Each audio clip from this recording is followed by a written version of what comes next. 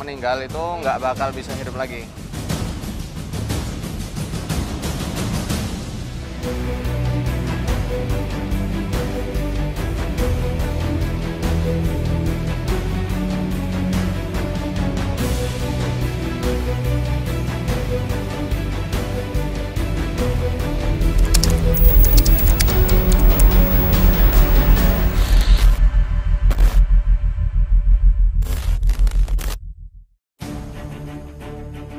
Assalamualaikum warahmatullahi wabarakatuh. Selamat pagi pemirsa Rukyah yang dirahmati Allah Ta'ala.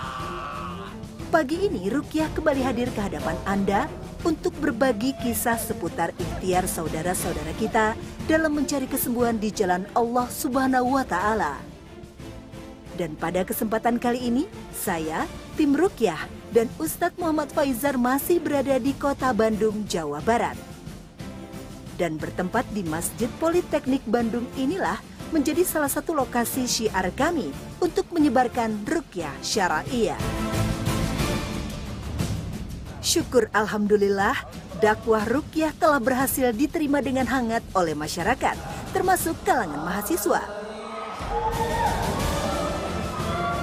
Terpapar jelas di wajah mereka begitu semangat serta antusias belajar membentengi dirinya agar setan tidak dapat menembus bahkan merasuk, apalagi sampai memperdaya dengan tipu dayanya yang samar. Dan salah satu peserta pelatihan rukyah yang begitu semangat bernama Ibu Nia. Alasan mendasar mengikuti pelatihan rukyah ialah karena dia kerap mengalami banyak keanehan di dalam hidupnya. Salah satunya adalah sering dibubuhi mimpi buruk seperti tersesat, mimpi yang berkelanjutan, juga mimpi berulang-ulang. Tidak hanya itu saja, merasakan pinggul yang teramat linu, perut melilit tidak tertahankan, menggigil tanpa demam, dan itu semua dirasakannya ketika menjelang maghrib saja. Secara medis, Ibu Nia didiagnosa terkena stroke. Stroke juga tergolong ke dalam penyakit berbahaya karena mampu mengakibatkan kelumpuhan bagian tubuh hingga kematian. Adapun bila penderita dapat diselamatkan, biasanya akan mengalami gangguan kelumpuhan sebelah anggota badannya, hilangnya sebagian ingatan, atau berkurangnya kemampuan berbicara. Ibu Nia menderita penyakit stroke sejak tahun 2008 silam dan pada tahun itulah ia sudah tidak mampu lagi berjalan, bahkan berdiri saja begitu terasa sukar. Apakah penyakit ini ada kaitan dengan gangguan jin zolim?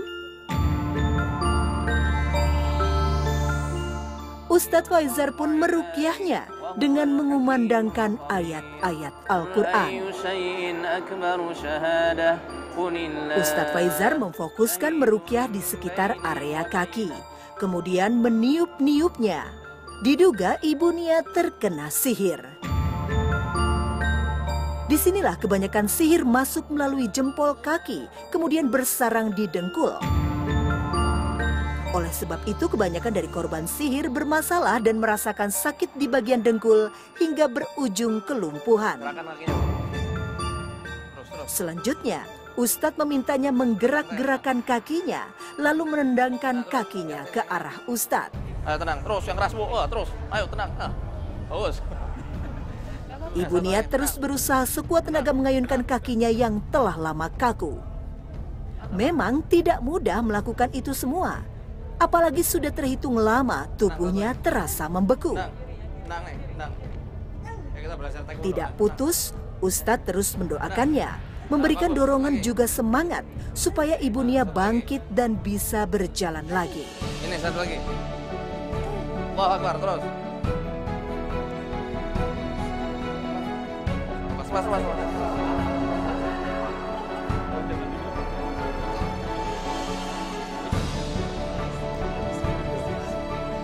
Bu, tenang, tenang ya, tenang. Buka mata, buka mata, tenang.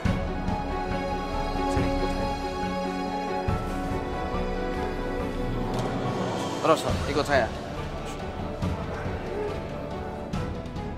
Alhamdulillah, dengan dorongan tenaga serta tekad yang kuat, Ibu Nia telah mampu berdiri dan berjalan meski agak tertatih-tatih. Dan saya pun terkesima, terharu karena menjadi saksi menyaksikan secara langsung Ibu Nia bisa berjalan. Masya Allah, benar-benar keajaiban, benar-benar luar biasa.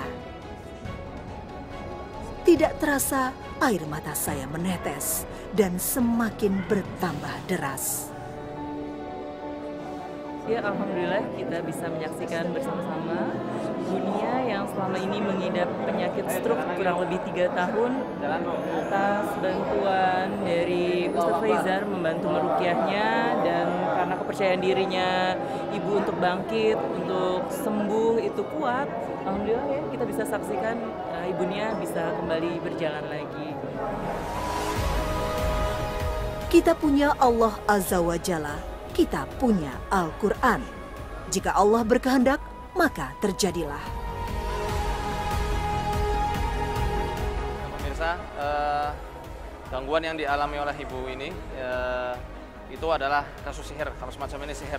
Jadi kasus rematik, eh, kalau ada di bahasan kitab-kitab rukyah, itu rematik salah satu gangguan dari gangguan-gangguan jin.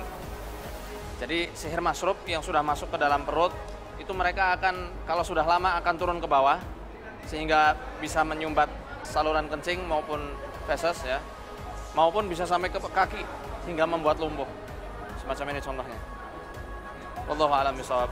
Kita doakan semoga Allah Subhanahu wa taala menyembuhkan ibu ibu Nia dengan kesembuhan yang hakiki, kesembuhan yang sempurna. Bukan hanya sembuh badannya saja, tapi juga sembuh semuanya. Setelahnya tambah taat kepada Allah, ya tambah semuanya yang baik-baik, insya Allah.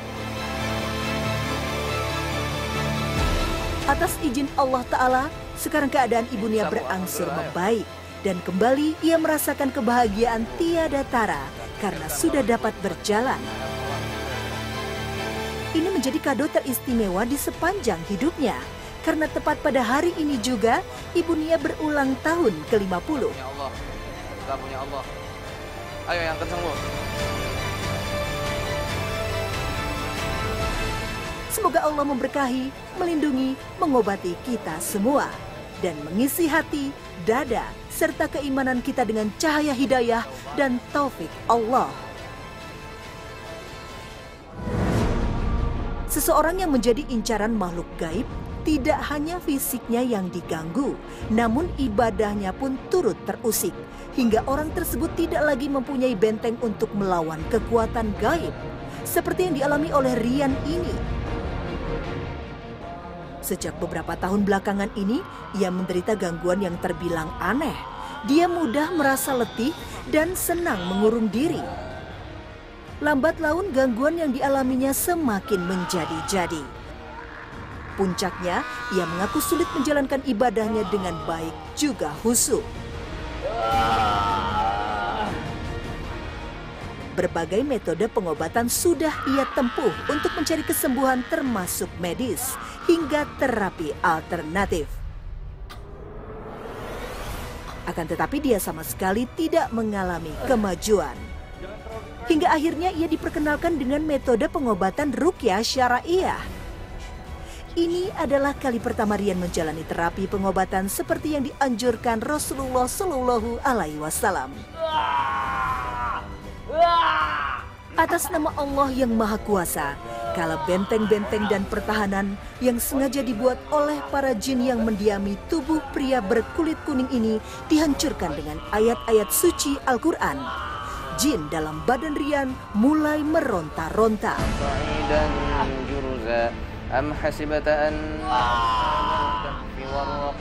Kanu Perhatikanlah, ia semakin menunjukkan ketidaknyamanannya manakala diperdengarkan ayat-ayat rukyah. ريب فيها إذ يتنازعون بينهم أمرهم فقالوا ابنوا Jin dalam diri Rian mencoba terus melawan dan enggan keluar.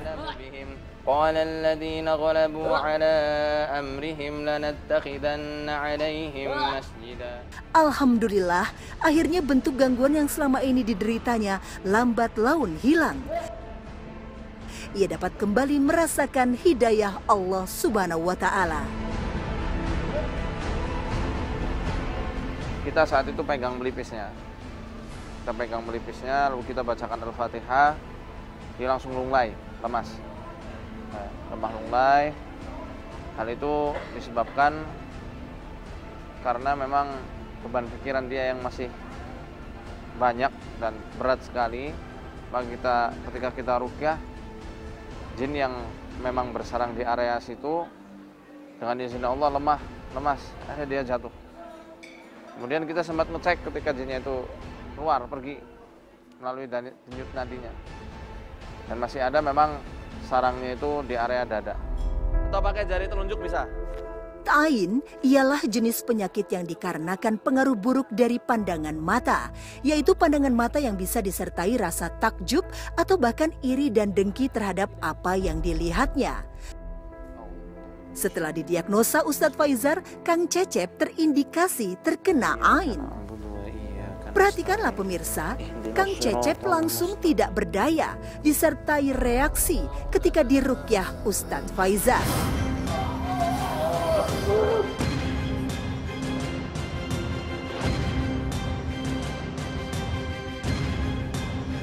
Kekuatan lain telah berhasil mengontrol dirinya.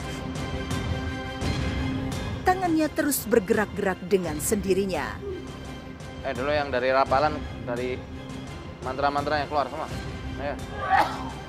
Tidak hanya terserang Ain, gangguan yang dialaminya juga dari ilmu kanuragan yang dulu dipelajarinya kurang lebih 10 tahun lalu. Walaupun itu sudah bertahun-tahun, itu bisa aktif. Aktifnya mungkin saat terlemah. Bapak kena Ain, ya, akhirnya dia itu aktif, aktif kembali. Nah, keringatnya ngucur kita bisa lihat. Lihatlah, tubuhnya pun mulai dibanjiri keringat berlebihan.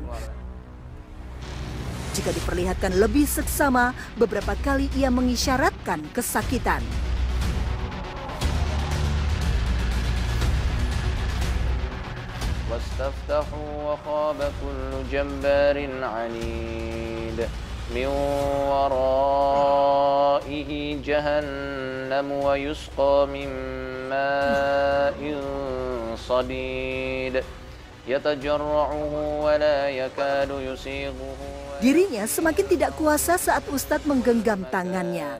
Dan dengarkanlah ada suara berbeda yang keluar dari dirinya. Bentar, bentar, Pak. Eh, tahan, tahan. Tahan, Pak. Buka mata, buka mata. Buka mata. Buka mata. Tarik nafas.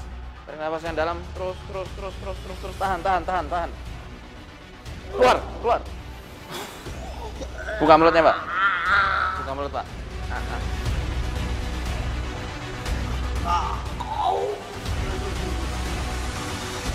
Lagi, lagi, Pak.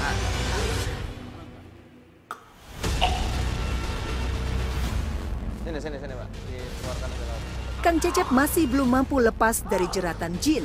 Ia terus menunjukkan seperti orang kesakitan. Eh, keluar. ah,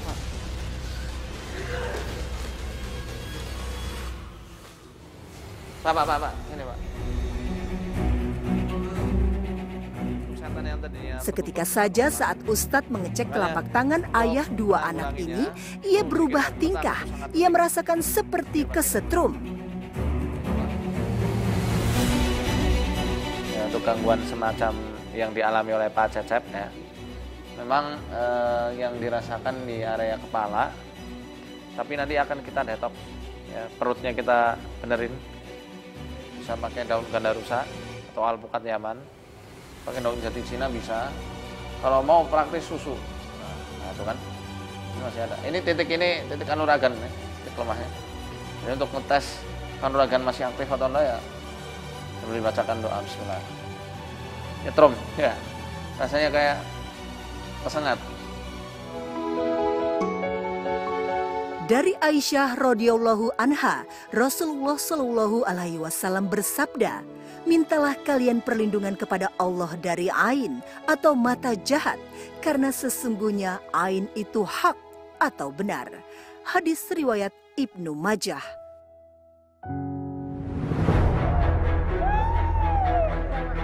Pemirsa Rukyah, Kisah terakhir di episode hari ini ialah kisah perjuangan dari Kang Kohar yang berusaha ingin melepas ikatan jin dalam hidupnya. Dalam kesehariannya, ia terhitung suami yang temperamental, introvert, atau menutup diri, dan minderan karena minimnya rasa kepercayaan diri. Keyakinannya pun keliru karena percaya bahwa orang yang telah meninggal bisa hidup kembali dan menguasai salah satu tubuh keluarganya. Dengan mengikuti rukyah masal, ia berharap menjadi manusia baru yang tentunya lebih baik lagi dari sebelumnya. Baru saja Ustadz Faizar memimpin rukyah masal, lelaki bertubuh padat ini langsung bergaya tidak sewajarnya.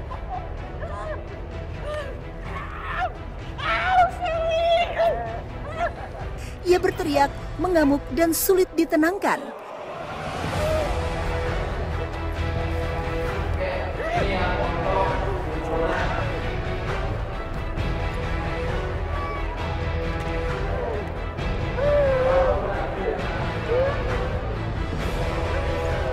Beberapa perukia langsung menghampirinya. Ayat-ayat suci Al-Quran pun mulai dilantunkan tidak jauh dari telinganya.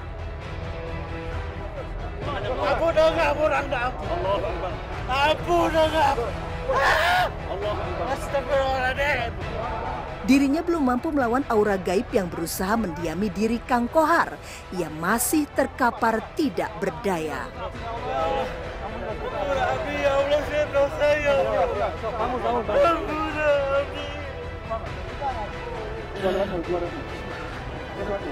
Ya Alhamdulillah di penghujung acara ia berkesempatan dirukyah langsung oleh Ustadz Faizar. Didampingi istri juga putrinya, ia bersedia dirukyah. Ustadz kembali membacakan ayat-ayat rukyah. Saya kakeknya dia.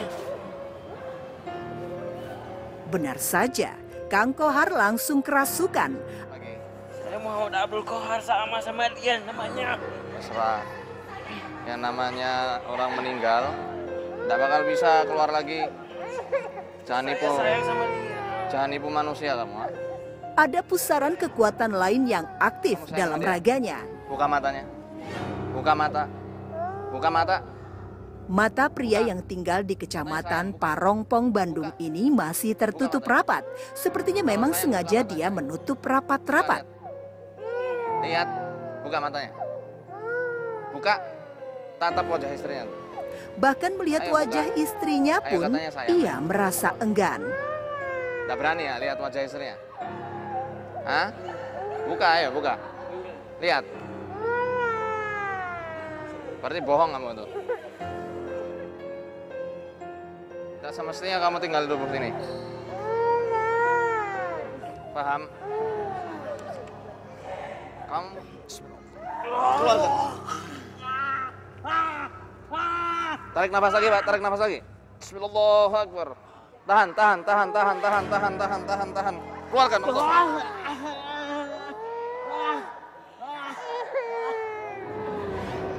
Kayak.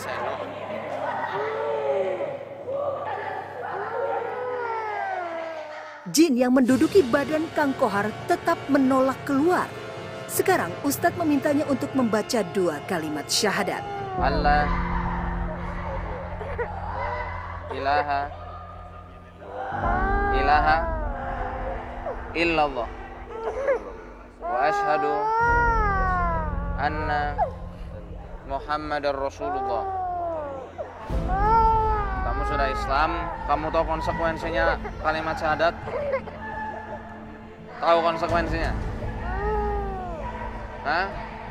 kamu tinggal di tubuh ini sama saja menjerumuskan anak ini ke neraka. Karena konsekuensi syahadat tidak ada Tuhan selain Allah, maka dia meyakini tidak ada pelindung kecuali hanya Allah. Paham? Kamu juga butuh pelindung. Makanya jangan sok-sokan jadi pelindung, ya. Kita sama-sama makhluk lemah, mending kamu keluar sana keluar. Ayo. Secara sukarela. Saya tidak mau nyiksa-nyiksa kamu. Cepat keluar sana. Jangan nipu-nipu manusia lagi. Orang mati tuh nggak bakal bisa arwahnya gentayangan. Namanya di kartun-kartun. Sana keluar sana ya. Ayo. Alhamdulillah, kini Kang Kohar terlepas dari jeratan jin. Sekarang ia menjadi lebih merasa nyaman. Menurutnya, ia seperti lahir kembali yang terasa ringan tubuhnya tanpa beban.